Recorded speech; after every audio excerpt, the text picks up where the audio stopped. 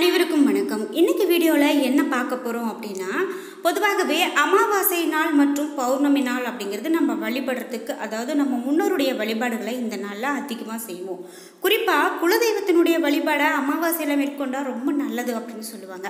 நாம் இன்னைக்கு இந்த வீடியோவில் என்ன பார்க்க போகிறோம் அப்படின்னா அமாவாசை நாளில் சில விஷயங்கள்லாம் செய்யக்கூடாது அப்படின்னு சொல்கிறாங்க சில விஷயங்கள் செய்யும்போது நன்மை அப்படின்னாலும் கூட அமாவாசை நாட்களில் குறிப்பாக இது போல் விஷயங்கள்லாம் செய்யக்கூடாது அப்படின்னும் நம்ம முன்னோர்களால் கடைபிடிக்கப்பட்டு வந்திருக்கு.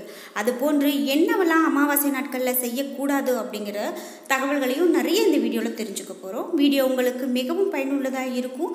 கடைசி வரைக்கும் ஸ்கிப் பண்ணாமல் முழுசாக பாருங்கள் நீங்கள் இன்னும் நம்ம சேனலை சப்ஸ்கிரைப் பண்ணாமல் இருந்தால் சப்ஸ்கிரைப் பண்ணிக்கோங்க. கூடவே இருக்க பெல்லைக்கான மறக்காமல் கிளிக் பண்ணிடுங்க வாங்க வீடியோக்குள்ளே போகலாம் அமாவாசை நாட்களில் நாம் விரதம் மேற்கொண்டு மதியம் இலையில் சாப்பிடணும் அப்படிங்கிறது நம்ம அம்மா அப்பா தாத்தா இவங்கெல்லாம் கடைப்பிடித்து வந்திருப்பாங்க. அதில் குறிப்பாக காகத்துக்கு உணவு வைத்த பிறகு சாப்பிட வேண்டும் அப்படிங்கிறதும் நம்ம பார்த்து வந்திருக்கோம். அமாவாசை நாளில் நாம் செய்யக்கூடிய ஒவ்வொரு வழிபாடும் நம்ம முன்னோருக்கு போய் சேரும் அப்படின்னு சொல்லுவாங்க. அவர்களுக்கு சேரக்கூடிய புண்ணியம் யாவுமே நமக்கு வந்து சேரும் அப்படிங்கிறதால இது போன்று கடைப்பிடிக்கிறது சொல்லி வச்சுருக்காங்க. நமக்கு மட்டும் இல்லாமல் நம்மளுடைய சந்ததிக்கும் வந்து சேரும் அப்படிங்கிறத நாம் மறக்கக்கூடாது. முன்னோர்களுக்கு தர்ப்பணம் கொடுக்க விரதம் இருக்கும் கூடிய இந்த நாளில் நம்ம என்னெல்லாம் செய்யலாம் என்னெல்லாம் செய்யக்கூடாது அப்படிங்கிறது தெரிஞ்சுக்கலாம்.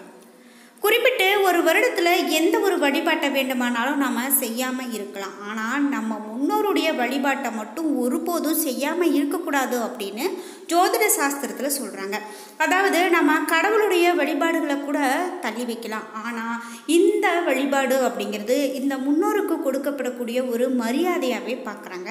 இதை நாம் தவிர்க்காமல் செய்யணும் அப்படின்னு சொல்லப்படுது.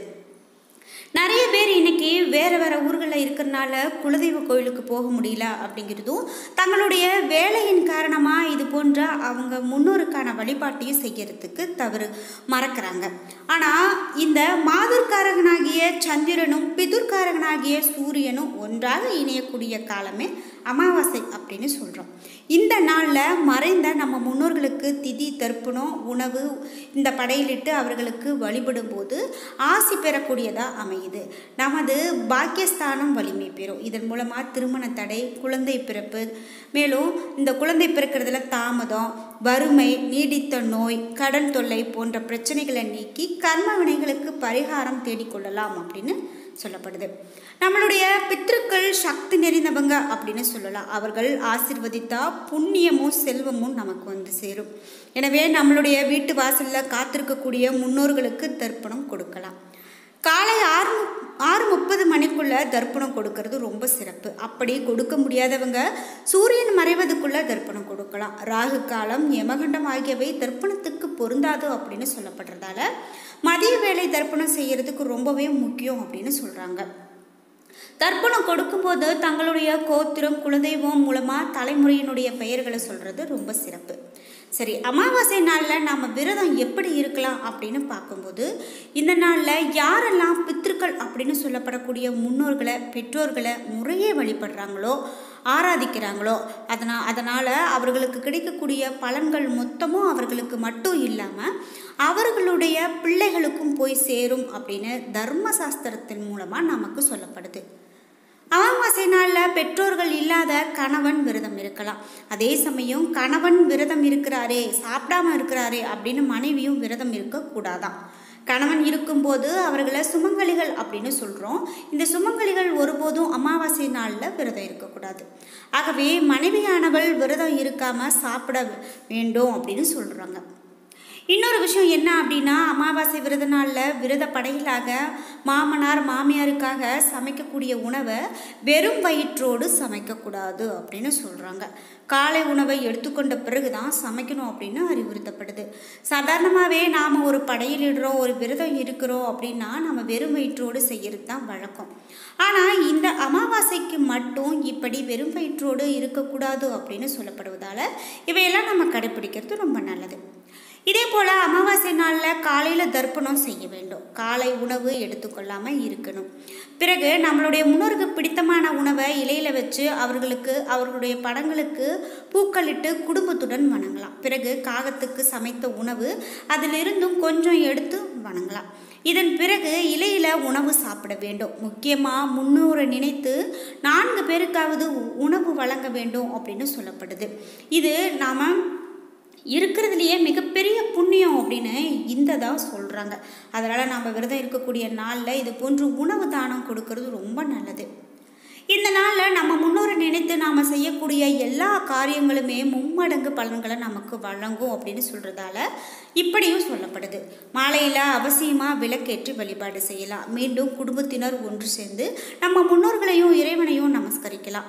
அதே போல் அமாவாசை அன்னைக்கு இரவு தர்ப்பணம் செய்ய கணவருக்கு டிஃபன் உணவு தான் கொடுக்கணும் அப்படின்னு சொல்கிறாங்க மனைவியார் டிஃபனே சாப்பிட்டாலும் கொஞ்சம் கைப்பிடி அளவாவது சாதம் சாப்பிட்றது நல்லது. மேலும் அப்போது நம்மளுடைய மாமனார் மாமியார் ஆசீர்வாதம் முழுமையாக கிடைக்கிறது என்றே சொல்கிறாங்க அமாவாசை தோறும் ஒவ்வொரு வீட்டு வாசல்லையும் முன்னோர்கள் நின்று கொண்டு எல் தண்ணீர் பெறுவதற்காக காத்துட்ருப்பாங்க அப்படின்னு சொல்கிறாங்க இந்த நாளில் நாம் விரதம் இருக்கிறவங்க வாசலில் கோலம் போடக்கூடாது அப்படின்னு சொல்லப்படுது. அதையும் கவனத்தில் வச்சுக்கணும். மாமிசம் சாப்பிடக்கூடாது வெங்காயம் பூண்டு இவையெல்லாம் சாப்பிடக்கூடாது. இன்றைய தினம் யாரையும் கோபமாக பேசக்கூடாது. முன்னோர் வழிபாட்டுக்கு உகந்த அமாவாசை தினத்திலும் வீட்டு வாசலில் கோலம் போடாதவாறு இருக்கிறது நல்லது அப்படின்னு சொல்கிறாங்க முன்னோரை வழிபட்ட பிறகே தெய்வ வழிபாடுகள் தொடர வேண்டும் அப்படிங்கிறதால அமாவாசை தினத்தில் வீட்டு வாசலில் கோலம் போடுவது கிடையாது. கோலங்கள் தெய்வ வழிபாட்டுக்கு உரியவை என்பதோடு மகிழ்ச்சியுடன் வெ மகிழ்ச்சியின் வெளிப்பாட்டாகவும் இருக்குது அப்படின்னு சொல்லலாம். இதனால் நம்ம முன்னோர்களை இழந்து அவர்களுடைய பிரிவால் வாடக்கூடிய நாம் திதி அமாவாசை தினங்களில் கோலம் போடுறத தவிர்க்கிறது தான் நல்லது அப்படின்னு சொல்லப்படுது. அமாவாசை வழிபாட்டில் காகத்துக்கு முக்கியத்துவம் கொடுக்குறோம் அப்படின்னு நம்ம பார்த்தோம். அப்படி அன்னைக்கு காகத்துக்கு சாதம் வைத்து அது சாப்பிட்ட பிறகே அனைவரும் நம்ம சாப்பிடக்கூடிய பழக்கத்தை நடைமுறையில் வச்சுக்கிறோம்.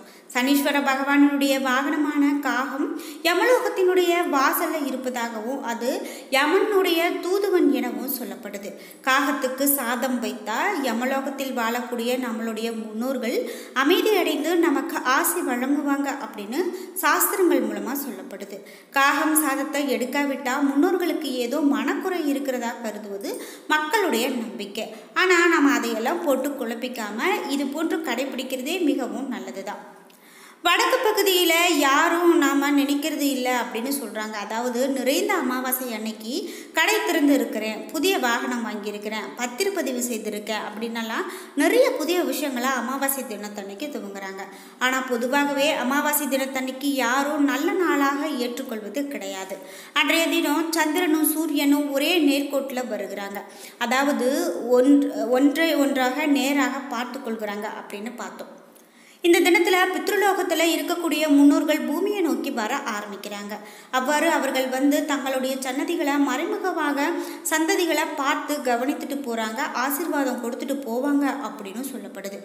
எனவே பித்ரு தேவதைகள் என்று சொல்லக்கூடிய நம்மளுடைய முன்னோர்களை வழிபட்டு அவர்களுக்கு மரியாதை செய்து புதிய காரியங்களை துவங்கும் போது அவை நிச்சயமாக நல்லதாகவே நடக்குமா?